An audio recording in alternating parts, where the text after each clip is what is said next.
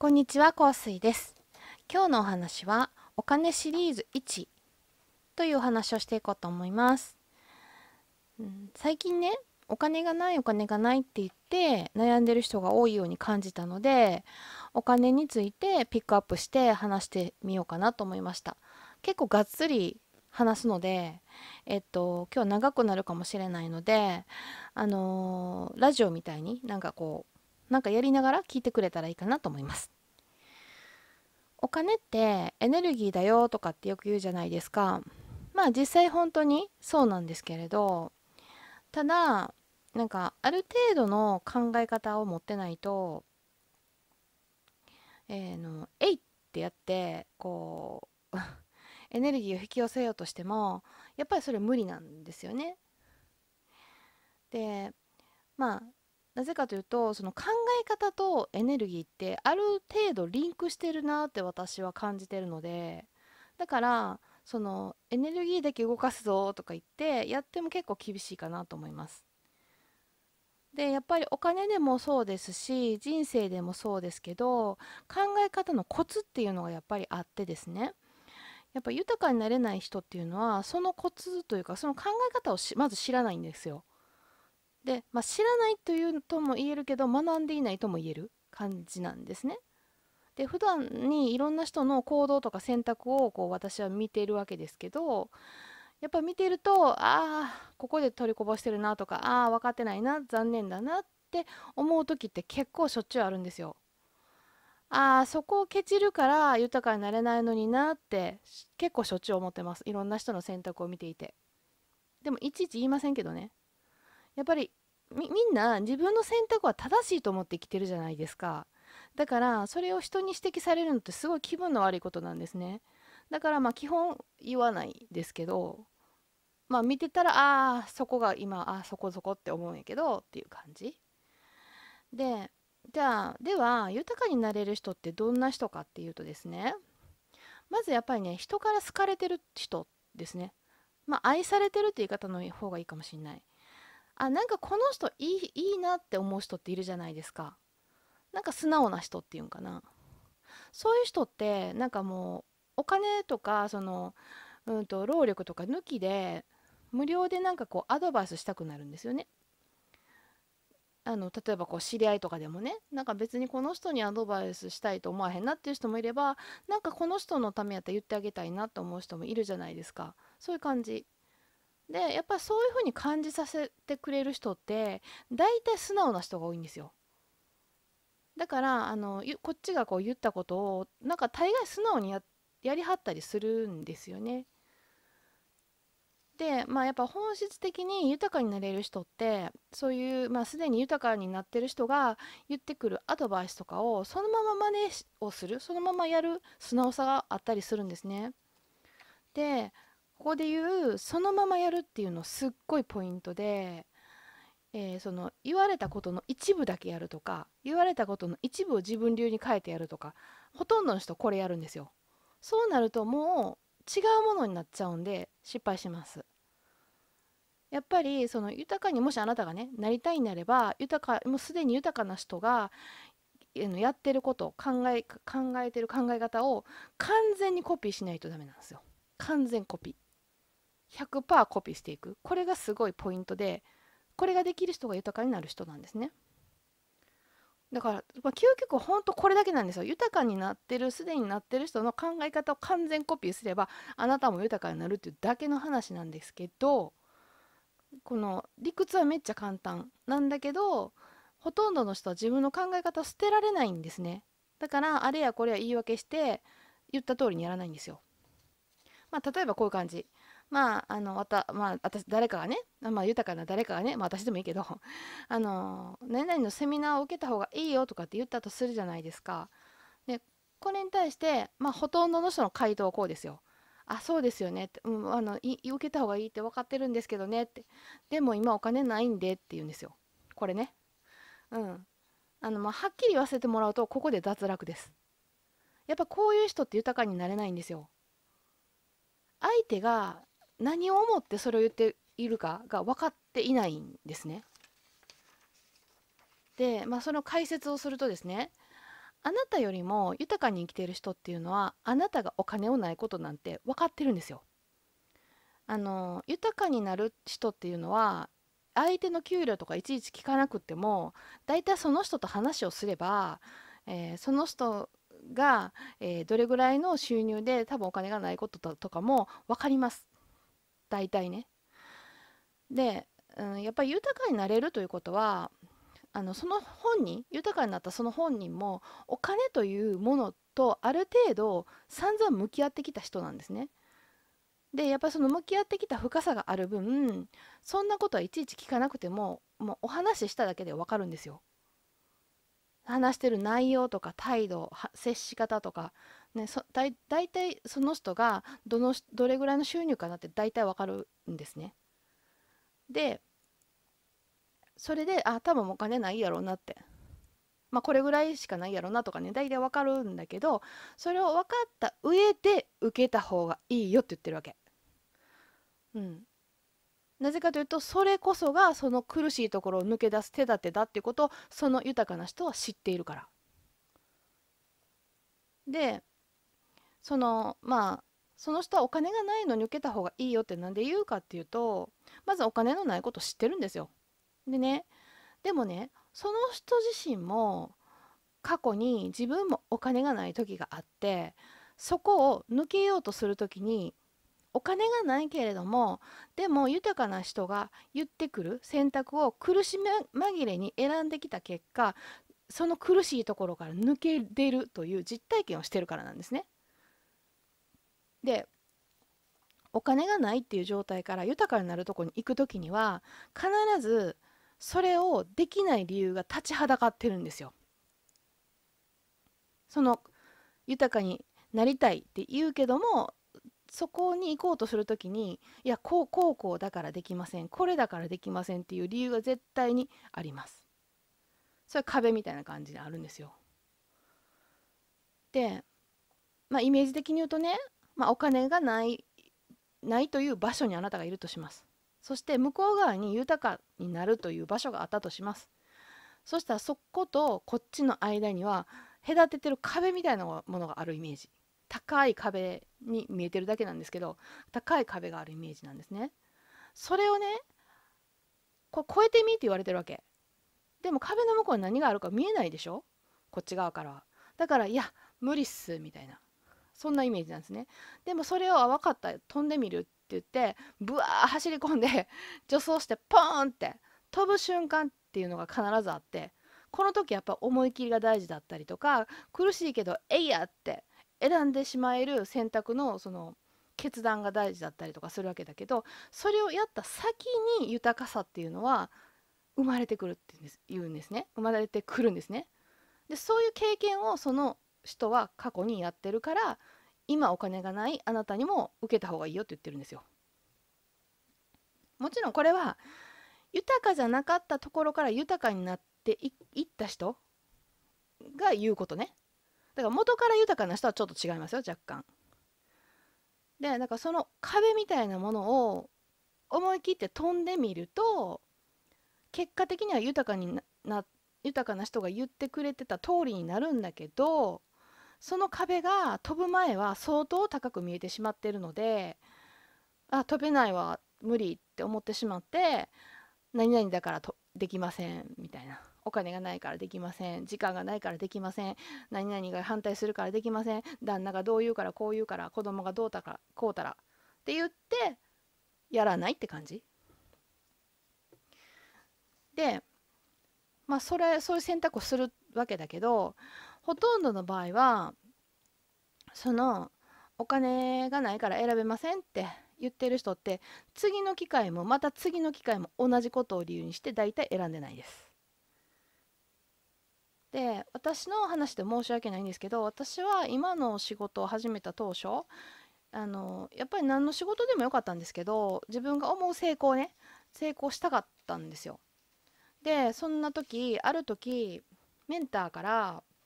50万円の高額セミナーに勧められたんですね。これ行った方がいいよって。でその時思いましたよ。いやこんな大金ないって。って。でも考えたんですよね。そのメンター私に言ってくれたメンターはもうすでに私よりも先を行っていてだいぶ豊かに生きてる人でしたから、まあ、その人の思考を完全にコピーしようと思っていたのでまあ私はどうしたかっていうとこれ人に借りたんですよね。人に借りて個人的にねほんで払ったんですよ。で当時の私はあの、まあ、普通の会社員でしたからえっと、借金なんてとんでもないと思うタイプの人間でしたので、まあ、相当悩みましたよね。だからほんとバンジージャンプ飛ぶみたいな感じでした。でもあのバンジージャンプを飛んだことが私に教えてくれたことは数えきれないほどのことがあったなと思います。単にそのセミナーから学べた経験だけではなくて、うん、成功する思考をそのバンジージャンプを飛ぶ行為によって身につけることができたっていう感じなんですね。うん、でお金を増やす考え方思考はあの実際の行動からしか身につかないんだなってことも知りました。でこの考え方を身につけるっていうことが実は何よりもの財産なだったんだなってことが分かったんですね。うん、意味わかります？えっ、ー、とお金なんて、まあ、使えばなくなるし、まあ、例えばたくさん持ってたとしても取られるリスクもあるしつまりは持ってることで何の安定もしないんですよ。うんとお金をたくさん持ってたらねきっと安定するだろうなって思うんですよね持ってない時って。でもそれってはっきり言って幻想なんですよ。たくさん持ったら今度は奪われる恐怖取られる恐怖なくす恐怖損する恐怖ことを考えてそれに今度縛られ始めて苦しみ出すんですよ。でまあいくら貯金があってもね例えば極端な言い方するといくら貯金があってもね金融封鎖とかされたら一発アウトですからね。でまあそろそろまあ金融封鎖の気配がしてるなと私は感じてるんだけどだから今富裕層の人とかは結構けんけんなんかこう何けんけんがくがく？なんかどうしようっていう感じですごい資金の移動先をめっちゃ考えてるらしいですよ。だからたくさん持っててもどこまで行ってもなくす可能性って消せないんですよ。だからつまりは結局はたとえゼロになったとしてもまたそれを再現できればいいっていう話なんですね。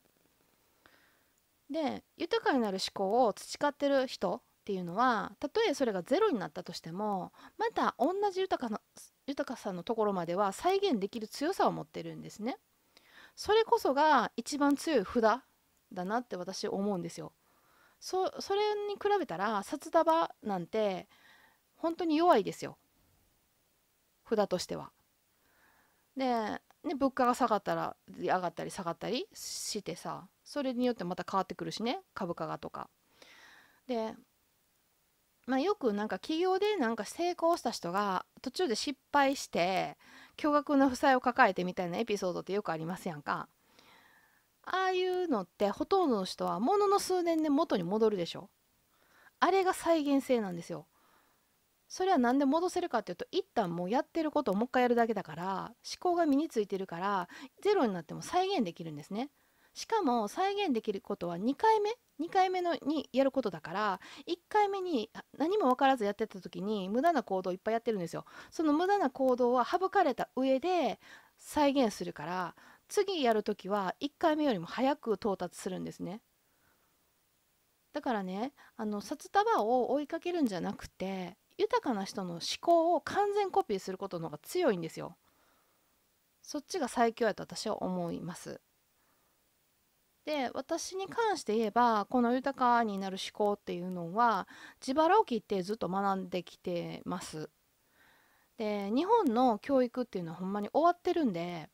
あの日本人はもう学校を卒業したら学ばないって言われてるらしいんですね。世界の中でも日本人ほど社会人になって学ばない国の人っていないんですって。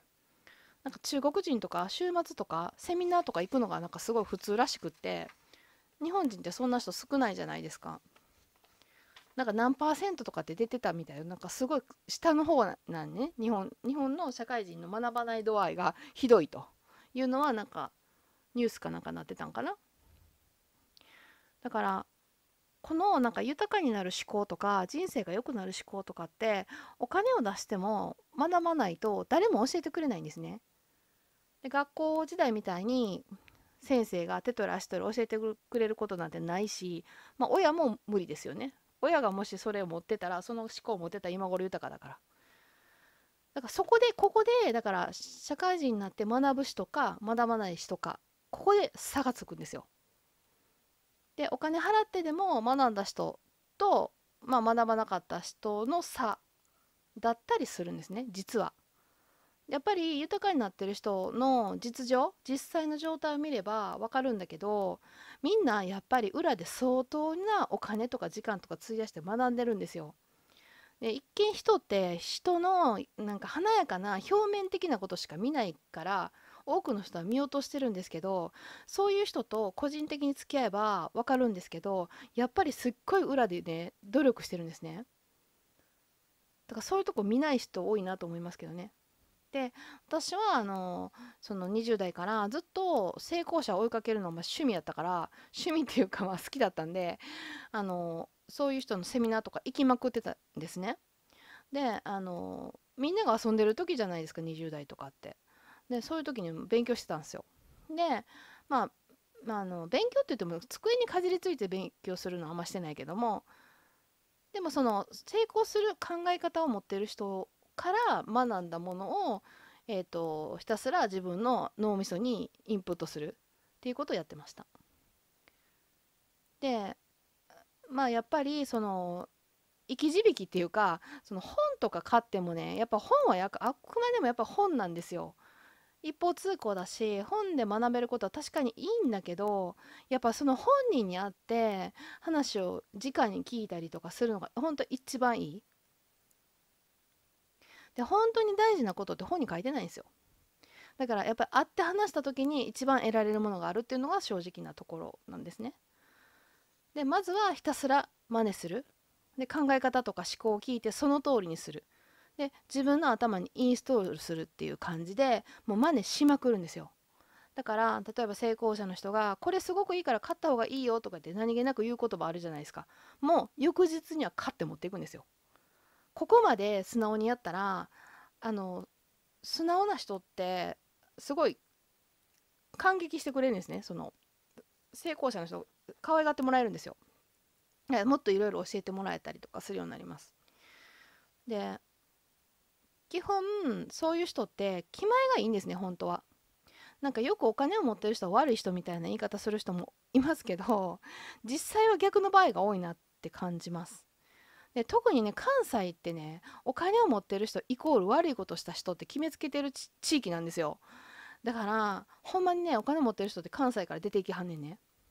あの小金持ちはおるよいっぱい。だけども本当のお金持ちってもうお金持ってるだけでいろんな嫌なこと言われるからもう関西から去っていきはんねん。だから例えば高級車乗ってたりしたりお金持ってると分かった途端あんた何悪いことしたん？とか言ってくるんですよ関西の人って。もうはっきり言ってねあの発想がもう豊か絶対豊かになれない発想。私はこういうところは関西はあかんなってすごい思ってるんですけどね。でもまあ実際の本当のあの豊かな人っていうのはあこの人すごい素直やし伸びる人やなと思ったら結構とことん教えてくれますよあの無料で。でだから素直さがあるとそういう人からやっぱ可愛がられるこういうこともやっぱり体験で学んで取り入れてきたことかなと思います。だからつまりはま勉強するためにそうやって行動もいっぱいしてるしお金もかけてるしあのこれがね元から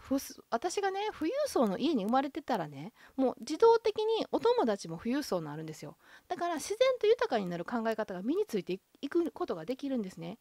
だからそんなことしなくていいんだけど私の場合平民で生まれ一般ピープルで生まれてるから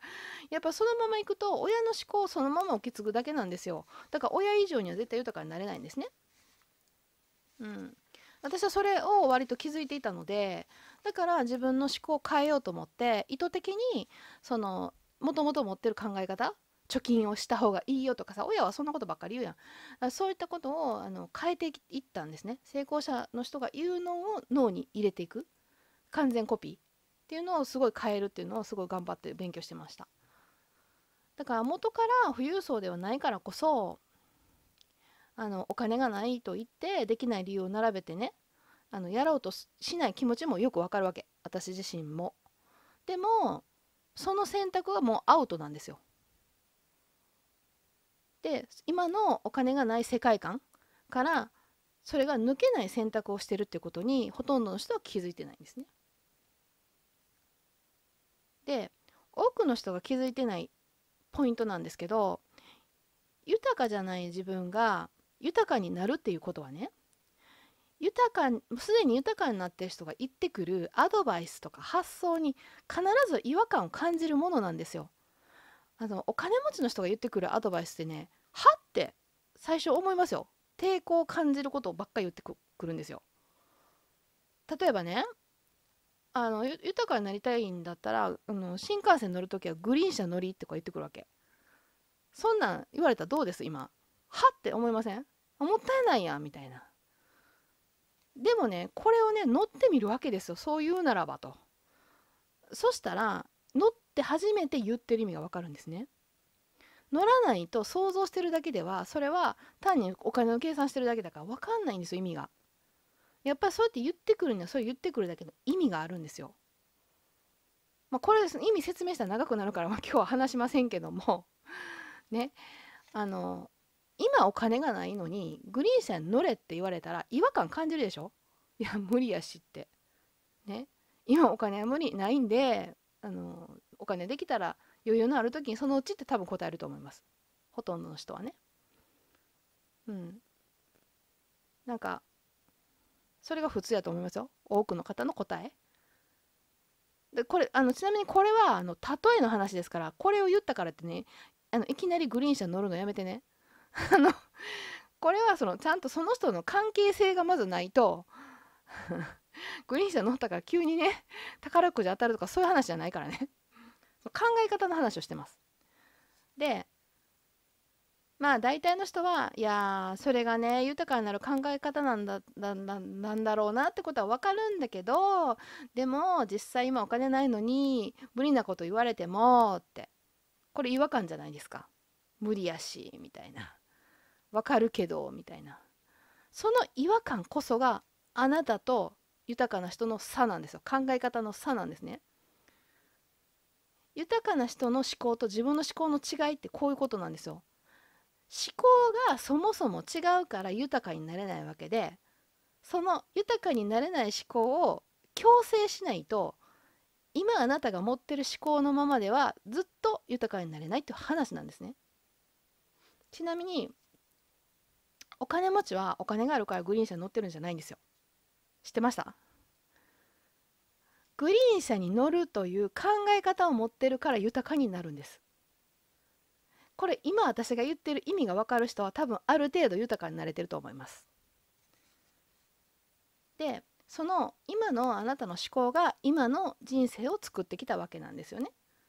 でということは今の人生があなたが思ってるこうなりたいと思ってるのと違うとしたらばそれに気づいて強制をかけない限り申し訳ないけど自分の今の世界観のままだったらそのえ、今の世界観のまま居心地のいい選択をし続けてたらずっとそのままです、まあ、つまりは豊かになれないと思います。やっぱりまず思考を変えるから行動が変わるんですね。もしくは行動を変えるから思考も変わる。どっちでもいいんですけどね。まあでもまあ普通に言ったらまず思考が変わるから行動変わりますけどね本当はねでもまあ無理やり行動を変えて思考を後付けで変えていくっていうやり方もなくはないと思いますでもいずれにせよどっちかをやらないとずっと同じなんですよ。よく考えたらいたってシンプルな話なんですよね。でもこれは面と向かっては誰も言ってくれないからずっと気づかない人がほとんどだと思います。まあ今言った話が豊かになれない人が普段当たり前にしてる行動です。でねまあ最近あったことで言うとね婚活特訓ズームセミナーっていうのを単発でやったんですよ1回だけで。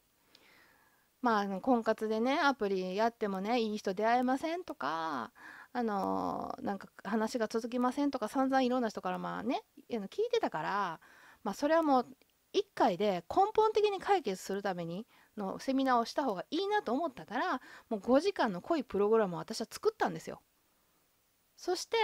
あのねやりますよっていう、まあ、案内出したんだけど本当に困って 困ってそうな人ほど申し込みしてこないんですよね。あのまあいいんですよ。いいんですよ。別にこれ私愚痴ってるわけじゃないんで。だからもっと安かったらね受けるのにとかもっと時間が5時間やからね。まあ実際6時間やったんですけど延長して。まあもっと短い時間だったら受けれたのにとか思う人もいるいるかもしれないですけどでもまあそれが実は無意識に選択した選択ミスだったりするかもしれないよって話ですね。あもちろんスケジュール的に無理な場合はしょうがないけどね。でやっぱりねあのまあ値段のことね値段のこととかすごいやっぱりお金がないけどお金の話してるからさお金がない人って値段のことすごいやっぱり言言わはるっていうか思ってると思うんですよ。でもねあのー、サービスの価値は、えー、価格に反映します。価値の高いものは値段も高いです。それは洋服でもバッグでも同じじゃないですか。だからよくね3000円とかのお気軽価格のセミナーに行きまくる人っているんですけどまあ申し訳ないけどああいうのは何回行ってもあんまり意味ないと思いますゼロではないけどねうんでも3000円で教えてくれることっていうのはやっぱり3000円の価値しかないんですよねでその根本解決することを3000円では教えてはもらえませんそんな先生多分いてないと思う3000円ぽっちりであなたの問題を根本から解決するようなことは教えてくれないと思いますよ。このことがセンスとして分かってる人は豊かになれるなりやすい思考の人だと思います。で今日は結構本当の話をずけずけとお話ししましたけどまあ最近は結構世の中がピリピリしてるので あの本当のことを言うと結構すぐ感情的になる 傾向があるなってこう全体的にね感じるので、まあ、この動画もしかしたらあのすぐ消すかもしれないです。うん、あのいろいろ面倒なのでね